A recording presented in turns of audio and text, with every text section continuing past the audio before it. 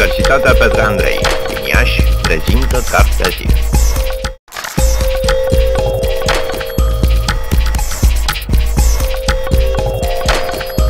Bine ați revenit la Cartea Zilei, sunt uh, Leonard Ancuța și pe parcursul acestei săptămâni vom vorbi despre o colecție importantă de cărți. Este vorba de o serie de cărți după 25 de ani de comunism în Europa de Est. Îl am alături de mine pe domnul profesor decan al Facultății de Științe Politice și Administrative a, a Universității Petre Andrei din Iași, domnul Sorin Bocancea. Domnule profesor, doctor, Așa. Da. ce ne puteți spune despre această colecție pe care dumneavoastră ați inițiat-o și o coordonați? Colecția aceasta face parte din uh, proiectul După 25 de ani Comunismul din Europa de Est. Este un proiect, uh, a început ca un proiect anual în 2014, un proiect al Universității Petre Andrei din Iași, al Institutului de Studiere a Ideologiilor, împreună cu revista Polis și uh, cu editura uh, Institutului European din Iași. Acest proiect editorial este practic a, part, a doua parte a proiectului, pentru că prima parte s-a desfășurat pe parcursul anului 2014. Au fost 30 de evenimente, constând în lansări de carte, conferințe, expoziții, spectacole pe această temă, după 25 de ani, comunismul în Europa de Est. Ce își propune mai precis colecția de cărți pe care o prezentăm în decursul acestei săptămâni? Colecția de cărți își propune o aducere aminte, în primul rând, a ceea ce a însemnat comunismul. De fapt, întregul proiect uh, a pornit de la premiza că au trecut 25 de ani, suficient pentru a nu mai fi reactiv față de ce a însemnat comunismul, uh, de această uh, îndepărtare de momentul căderii, permițându-ne oarecum să fim mai critici, să gândim mai calme acest fenomen numit comunism în România. De cealaltă parte, nu este nici, n-a trecut nici prea mult timp încât să uităm ceea ce s-a întâmplat. Cred că la 25 de ani putem să avem o abordare critică cu privire la ceea ce a însemnat regimul comunist în România. Am pornit de la premiza că a existat un comunism românesc, chiar dacă comunismul a fost, regimul comunist a fost adus cu tancurile uh, sovietice, în România a existat un regim comunist uh, autohton, cu evoluția sa de la dejism până la ceaușism în ultimele sale uh, forme, în neostalinismul pe care l-a îmbrăcat în ultimii ani.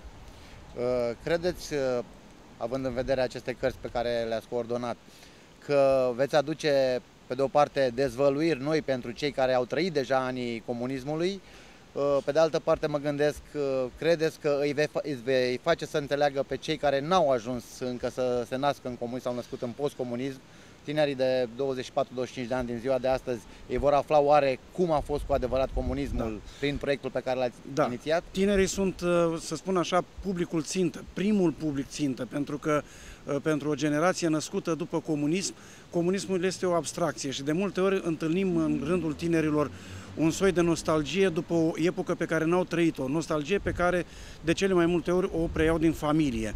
Pe vremea comunismului era mai bine. Ori Uh, lucrările pe care le vom publica, acum deocamdată vorbim de acestea patru, mai urmează șase în această serie, avem și mărturii, mărturii ale unor persoane care niciodată nu au mai făcut mărturii, de asemenea, avem mărturii ale unor persoane care în diferite uh, uh, ocazii au mai uh, făcut mărturii, dar acum au venit cu anumite completări față de ceea ce au trăit. Și, uh, de asemenea, avem și abordări științifice ale unor fenomene cum sunt literatura, vorbim de uh, pactizarea unor scriitori cu uh, regimul politic, vorbim de rezistența altor scriitori în uh, conflictul lor cu regimul politic comunist. De asemenea, vorbim despre ce statut avea femeia în perioada comunistă, Uh, și uh, multe, alte, multe alte componente vor mai fi uh, lucrări de uh, uh memorialistică, uh, interviuri cu foști deținuți politici, interviuri cu persoane care au deținut funcții în perioada comunistă, cu persoane care au trăit comunismul în URSS și, de asemenea, încă o lucrare, uh, uh, urmează să apară o lucrare despre faptul divers în presa uh, din România comunistă.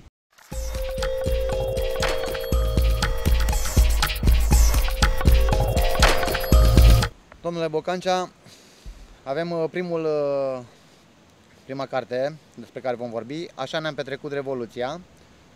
Avem și un cadru istoric, aș putea spune. Exact. Ce ne puteți spune despre acest volum? este un cadru pe copertă, nu întâmplător a fost aleasă acea fotografie, un cadru exact cu locul în care ne aflăm, acum 25 de ani. În uh, această lucrare este un dialog pe care l-am purtat cu domnul general uh, Mircea Mureșan.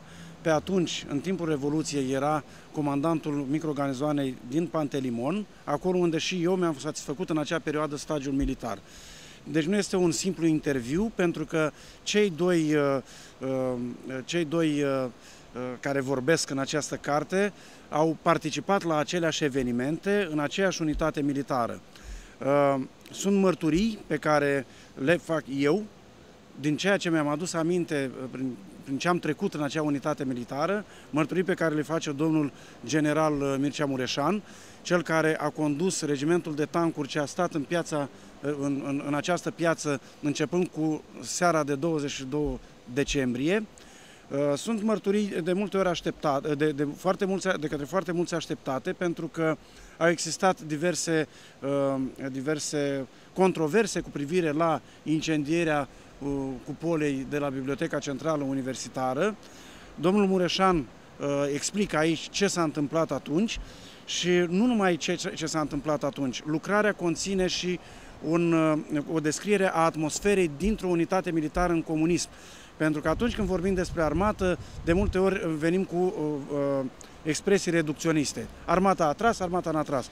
Chiar... Ce putea să facă, uh, ce nivel tehnic de și de pregătire avea armata română atunci, lucra, nu lucra cu profesioniști, lucra cu militari în termen, majoritatea timpului era plecată la munci agricole sau la munci pe șantierele uh, naționale, astfel încât foarte multe lucruri ce pare inexplicabile, cred că trecând prin această carte uh, se vor găsi explicații. Cu siguranță cei mai tineri, cei care nu știu despre ce înseamnă armata, ei încă nu, nu știu că nu știu. pe vremea respectivă serviciul militar era obligatoriu. Era obligatoriu, da, era obligatoriu. În același timp, ei nu știu ce s-a întâmplat la, la Revoluție, ce aduce această carte special despre momentele Această acelea. carte aduce lucruri pe care nu le veți întâlni în nicio arhivă și în niciun document. Știm foarte bine că și acum se uh, cercetează documentele Revoluției. Dar mărturiile, tot ceea ce ține de istoria orală, nu pot fi găsite în astfel de documente. În, uh, în această carte avem mărturia unui, unui om care a condus o unitate militară în teatru de operații de aici. Sunt mărturiile unui militar în termen care a rămas în unitate, ce s-a întâmplat și acolo, pentru că au fost diversiuni, au fost uh, uh, tot felul de acțiuni uh, oarecum ciudate pentru noi atunci, explicabile după ani și ani, și cred că sunt câteva elemente de noutate care, care sunt atractive nu doar pentru cei care vor să cerceteze adevărul despre Revoluție, ci pur și simplu pentru oricare tânăr și, nu, și pentru oricare român care vrea să înțeleagă Uh, bucățică cu bucățică ce s-a întâmplat atunci în acea mare vânzoleală, să spunem.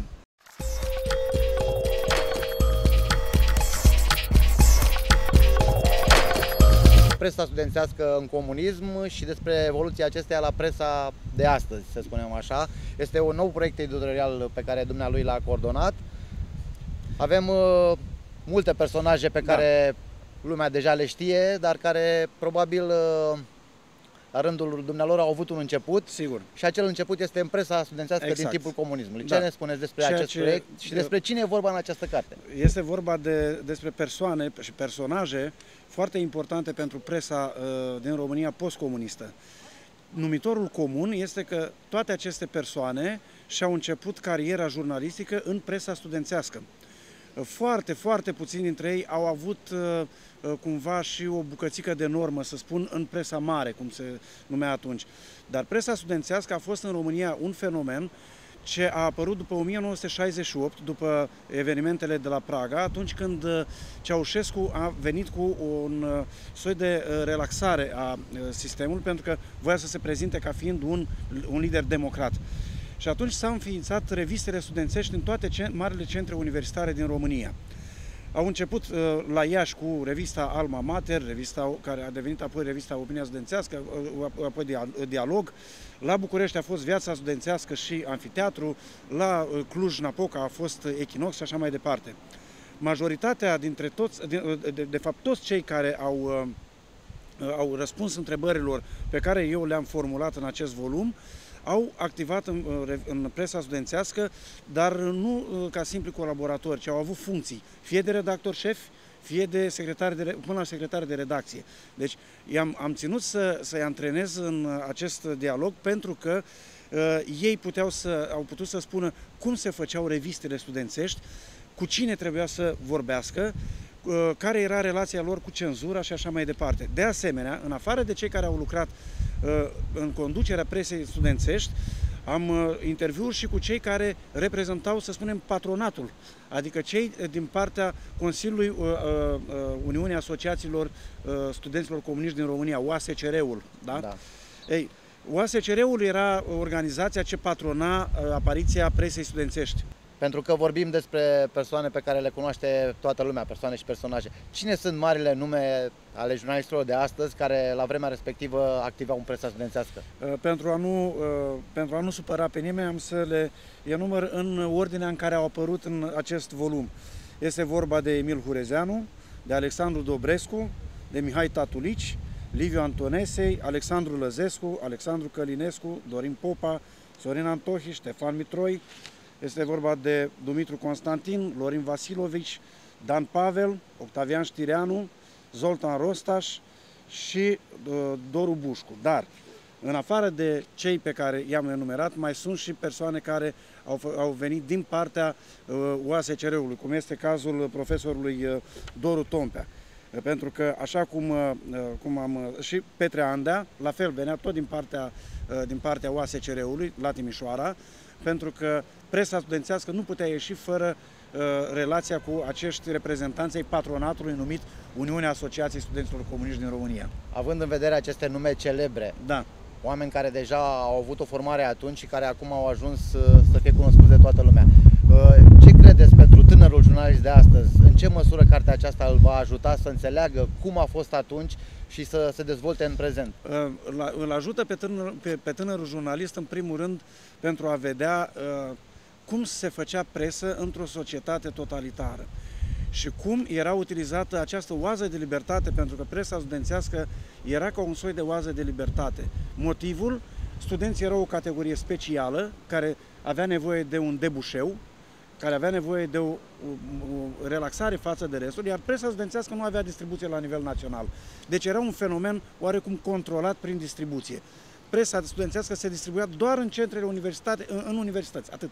Nu era nici în orașe ă, la tarabă de găsit, ci doar în universități. Și pentru tânărul jurnalist este important de văzut cum jurnaliștii de atunci uh, jonglau cu uh, cenzura, cum uh, alegeau subiectele sau cum li se impuneau subiecte, cum încercau să eludeze anumite elemente pe care nu le doreau, cele impuse, deci numerele impuse și așa mai departe. Este pentru orice tânăr uh, care vrea să facă jurnalist, este, uh, sunt câteva povești care le vor folosi foarte mult în carieră. Una dintre povești pe care am aflat-o din carte este faptul că uh, unul dintre personajele de pe care vorbeați dumneavoastră a căutat într-un anumit număr dintr-o da. revistă să nu folosească numele președintelui uh, da. conducătorului iubit, da. Nicolae Ceaușescu, căutând tot felul de subterfugii ca să nu apară acel nume în... Uh, da. Da. Cum... A, așa, la, la astfel de subterfugii recurgeau toți, pentru că existau acele numere impuse, da? Trebuia pe, primul, pe prima pagină să apară un editorial cu tema respectivă pe care o dorea partidul. Dar acolo fiind uh, oameni cu gândire liberă, uh, știau că nu poate, nu poate să apară revista fără să apară, uh, știu textul tematic. Dar recurgeau la acele mici șmecherii și de multe ori exista și un fel de complicitate între cei care făceau revistele și cenzură. Pentru că și la cenzură erau, s-au mai rânduit, altădată erau și, și mai indivizi mai obtuzi, greu de, uh, greu de învăluit, altădată erau și indivizi care se prefăceau că, au, uh, că nu au observat și așa mai departe. Pentru că până la urmă uh, erau toți în aceeași societate și aceste complicități de multe ori funcționau. Uh, vreau să vă mai întreb un lucru, că tot am vorbit de perioada comunismului și de cenzură. Presa studențească cu siguranță avea acest uh, apanaj de a se, uh, cum să spun, uh, de a eluda, să spunem, capcanele da. cenzurii. Da. Cum se făcea asta în principiu?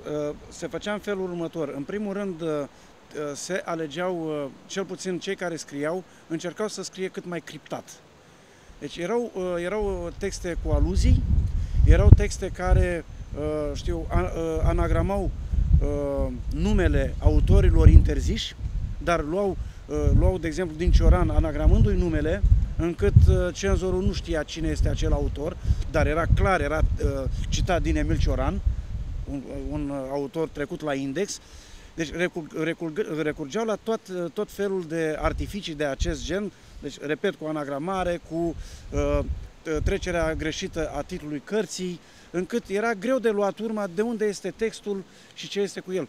În presa studențească de atunci uh, s-au publicat multe traduceri, traduceri ale unor autori occidentali, uh, pe care uh, cenzura le considera oarecum uh, benigne.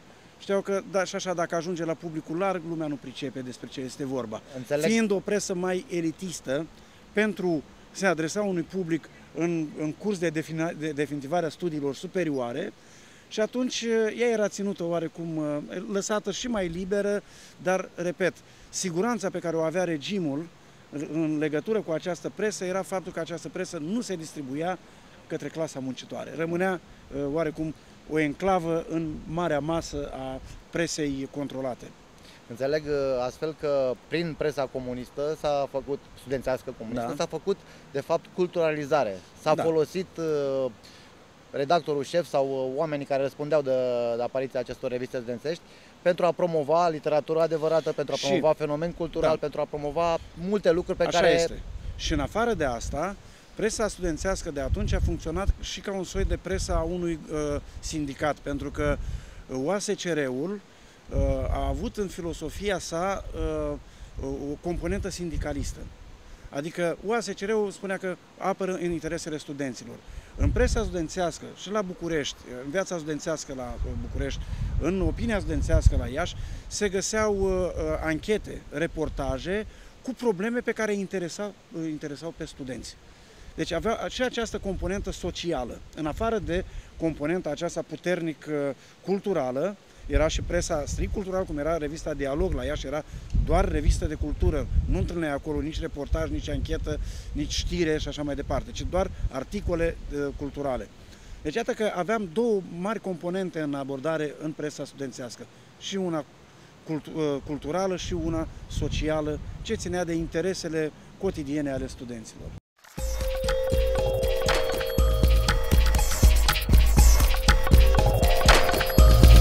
Statutul femeii în România comunistă și despre cum era privită la momentul acela femeia, familia, directivele despre... Da. Fiind uh, vorba de un uh, regim politic de stânga, este clar că a existat și o politică pentru emanciparea femeii.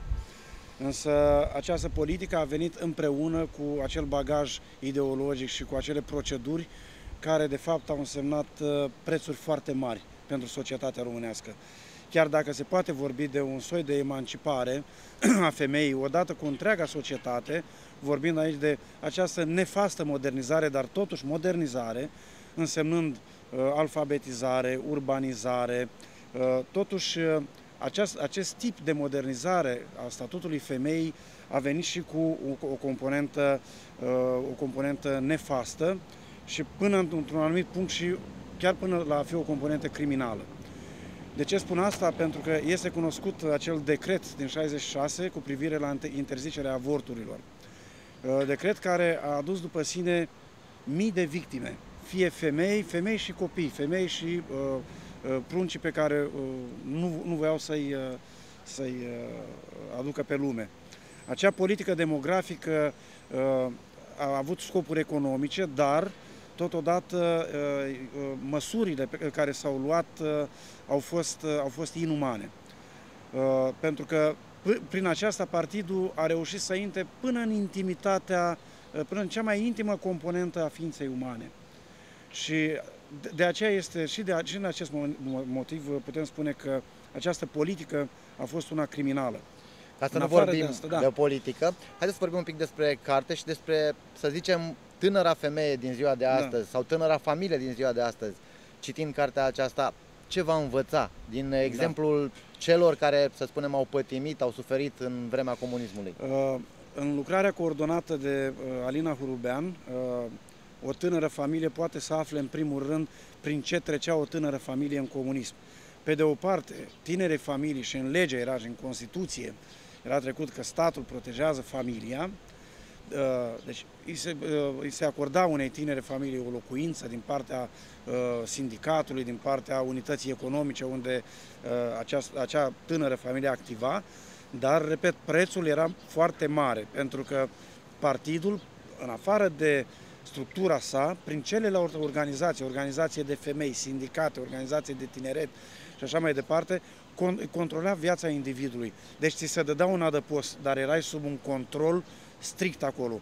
Uh, erai, uh, deci, uh, a existat acea politică pronatalistă, dar o altă componentă foarte importantă pe care uh, lucrarea coordonată de Alina Hurubean o conține este, în primul rând, modul în care era văzută femeia în comunism.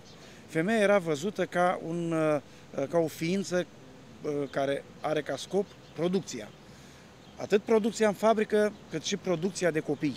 Mhm. Deci pur și simplu nu era văzută femeia ca astăzi, ca fiind, știu, așa cum o văd, sau cum o văd poeții ca, uh, știu, uh, subiect de idolatrizare. Ci pur și simplu era văzută ca uh, muncitoare, așa era prezentată, muncitoare, mamă. Deci erau cele două componente care, de fapt, întregeau familia. Așa era văzută femeia modernă. Nu se vorbea de uh, nevoile acestei femei, acelei femei, nu se vorbea de uh, dificultățile prin care trece o femeie începând de la uh, maternitate, care schimbă via, total viața unei femei, deci pur și simplu femeia trebuia să producă tot 8 ore, indiferent dacă era mamă sau nu era mamă. Deci până la urmă, chiar dacă la suprafață exista o politică de încurajare și promovarea femeilor, de protejarea familiei.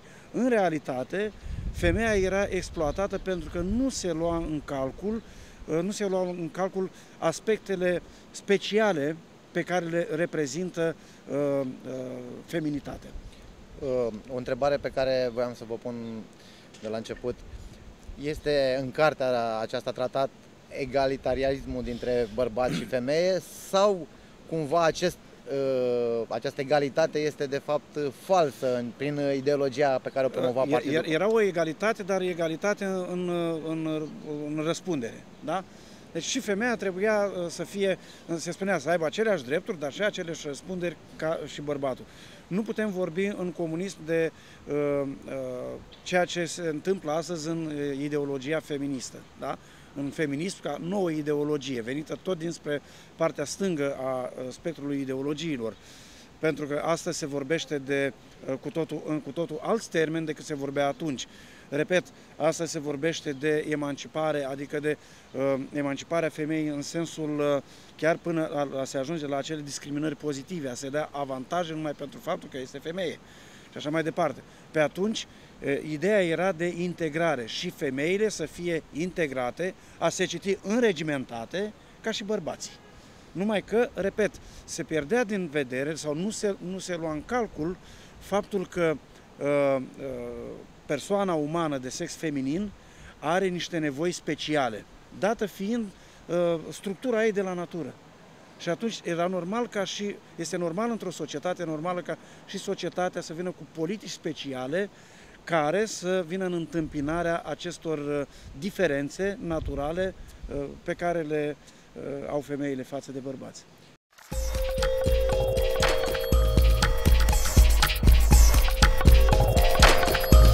Cuvintele puterii, literatură, intelectual și ideologie în România comunistă, o carte despre idei, despre cultură, o carte în care vom regăsi foarte multe dezvăluiri despre da. ce ne spuneți.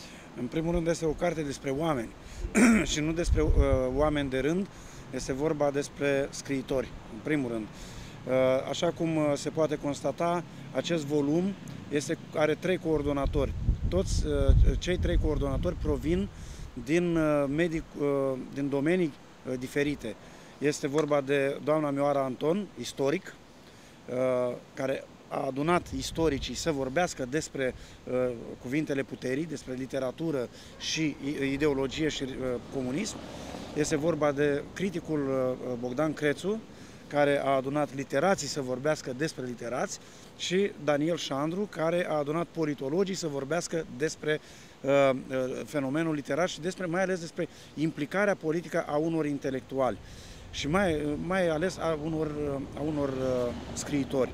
Este o carte cu, uh, cum să spun, cu, uh, și cu episoade tragice, pentru că în discuție sunt uh, personaje grele ale, uh, ale, ale literaturii românești. Este vorba de George Călinescu. Sunt personaje care, uh, peste care a venit comunismul, personaje care au fost puse în situația de a pactiza uneori cu acel regim. De aceea, în toată, în toată, lucrarea, toată lucrarea reunește studii ale istoricilor, literaților și politologilor, care iau în atenție acest fenomen al uh, interacțiunii dintre, dintre literatură și regimul politic. Cum s-au descurcat scriitorii atunci, cum s-a instaurat regimul politic în lumea literară, cum de s-a ajuns astfel încât uh, scriitorii să fie practic captivi ai unui sistem, chiar dacă, știu eu, prin uh, creațiile lor își permiteau uneori să, uh, își permiteau să-și ia porții de libertate, Totuși, uh, veți constata, urmărind această lucrare, modalitatea în care regimul comunist a știut să, să-i captureze. Nu, nu spun să-i captiveze. Unii au fost chiar captivați de comunism, crezând că este un regim care va aduce binele pe pământ și așa mai departe. Ceilalți au fost capturați. Nu au avut încotro, pentru că politica a fost foarte pragmatică, politica comuniștilor, în primul rând acționând prin Uniunea Scriitorilor Români, și acea uniune a uh, eliminat ceea ce trebuia eliminat din uh, cadrul acestei uh, forme de organizare sindicală a scriitorilor, s-a politizat. Acea uniune a stabilit cine intră în manuale, cine nu intră în manuale, a stabilit cam ce edituri trebuie închise, ce edituri trebuie încurajate, ce autori trebuie publicați, ce autori nu trebuie publicați și așa mai departe. Imaginați-vă un scriitor în acea perioadă pus în situația de a nu-i se publica. Care este rostul scriiturii? Aceea de a ajunge pe tarabă, aceea de a ajunge la un public. Ori ai omorât un scriitor, l-ai omorât în primul rând uh, simbolic, dacă nu ai permis uh, cărților sale să ajungă la public. Să înțeleg că la momentul respectiv, pe de o parte, valoarea scriitorilor ține mai mult de cu cât de mult respectă, să spunem, ideologia, cu cât de mult da. respectă da. programul uh, care îi se da. impunea. Așa Imediat așa mai... după război a existat o categorie de așa zis scriitori, uh, uh, chiar partidul le spunea după formula leninistă muncitori intelectuali, crezând partidul că dacă acești intelectuali provin din clasa muncitoare, erau de regulă fii de țărani, de muncitori, Uh, vor fi uh, devotați și vor crea o literatură care va vorbi în interesul clasei muncitoare. De, de fapt, ei vorbeau, voiau niște propagandiști deghizați în scriitori. Uh, acești muncitori intelectuali au apărut la început în primii ani, până când a apărut și acea, acea școală de literatură, dacă vă aduceți aminte, care a format, totuși, în afară de scriitori de duzină, totuși și mari condeie s-au format condei precum Nicolae Labiș, s-a format la acea școală de literatură, dar uh, toți cei care erau uh, considerați acei muncitori intelectuali ajungeau să fie propagandiști mărunți ce scriau prin uh, ziarele partidului, ce scriau prin niște reviste obscure și așa mai departe. Pe ei istoria literaturii nu îi reține, pentru că rămân acolo ca niște politruci deghizați în scriitori. Important este ce s-a întâmplat cu mari scriitori, scriitori formați în vechiul regim, adică în perioada uh, regimului democratic, democratic din România, în perioada interbelică, ce s-a întâmplat cu acei scriitori în perioada dictaturii de dinainte de comunism, vorbim de dicta, dictaturilor, dictatura lui Carol al II-lea, dictatura uh, antonesciană, deci ce s-a întâmplat cu ei, cum au pactizat și cu celelalte dictaturi și cum au pactizat și cu dictatura comunistă. Vorbim de scriitori cu nume să spunem, foarte bine împământenite în, în literatura română. Sadoveanu, de... Arghezi, uh, uh, critic, marele critic George Călinescu. Vorbim de asemenea de scriitori aserviți regimului, Sigur, vorbim de scriitori da. care au căutat să se să ocolească puțin cenzura, să ocolească regimul da. și ideologia sa. Sau vorbim de scriitori care au devenit scriitori ai puterii. De exemplu, Marin Preda, a fost un scriitor și cu funcții importante, dar a avut inteligența să, să coabiteze, să spun așa, cu regimul, astfel încât atât timp cât a condus editura Cartea Românească, acolo s-au tipărit mari lucrări, mari cărți ale literaturii române. Deci nu era suficient să spunem că ai ajuns și te-ai înțeles cu cei de la partid. Important este ce ai făcut cu acea putere. Dacă acea putere a fost doar pentru a te uh, pune pe tine la adăpost sau a lăsat și ceva bun în urmă, uh, funcția pe care tu ai deținut-o cu voie de la stăpânire. Iată că avem cazul lui Marin Preda, un om care a, a fost un om al puterii. El nu a, n-a intrat într-un conflict deschis cu puterea niciodată. Să vorbim de uh, acea generație de scriitori care s-a format și care avea uh, acces la uh, Mogoșoaia, aveau casele de creație, deci partidul le punea la dispoziție anumite condiții, o, o infrastructură. Dar pentru asta trebuia să dea, să-și dea partea, să plătească cumva. Ceea ce am constatat cu tristețe a fost că dacă la Revoluție s-a vorbit, va exista o mare literatură de sertar, că mulți n-au scris pentru că nu i-a lăsat partidul. N-a mai apărut acea literatură de sertar. Da. Cât s-a scris, atât s-a scris. N-am avut uh, o mare literatură de sertar care să izbucnească, să explodeze după Revoluție am rămas cu aceleași cărți care s-au scris în timpul comunismului. După Revoluție s-au scris cărți în alte generații de scriitori, dar nu avem vechi scriitori din perioada comunistă care să ne scoată, știți, am ținut 30 de ani acest manuscris și iată acum îl dau la lumină. Nu a existat. A fost un mit al literaturii uh, desertar. Apropo de acești tineri scriitori apăruți după da. 89 încoace, ce vor afla tineri scriitori din ziua de astăzi cei care abia acum, să spunem, ies din găoace, ce vor afla din, din cartea coordonată dumneavoastră? Uh, tinerii scriitori vor afla ceea ce ar trebui să știe scriitorii din orice perioadă. Uh, un, un scriitor în întreaga sa carieră, la un moment dat, intră în, uh, într-o relație, să spunem, cu puterea, indiferent cum este ea, că este democratică, că este o putere de, tiranică și așa mai departe. Pentru că prezența pe, piața, pe piață până la urmă presupune și această uh, interacțiune cu puterea politică. Și până la urmă uh, ceea care decide este tăria de caracter a fiecăruia dintre indivizi. Nu avem, uh, să spunem așa, unii norocoși și alții ghinioniști. Avem oameni mai slabi, avem oameni puternici, avem scriitori mari care au și colaborat cu puterea politică, avem scriitori slabi, dar uh, care n-au colaborat, dar faptul că nu au colaborat nu a însemnat că asta le, le-a asigurat, uh, știu eu, calitatea scriiturii.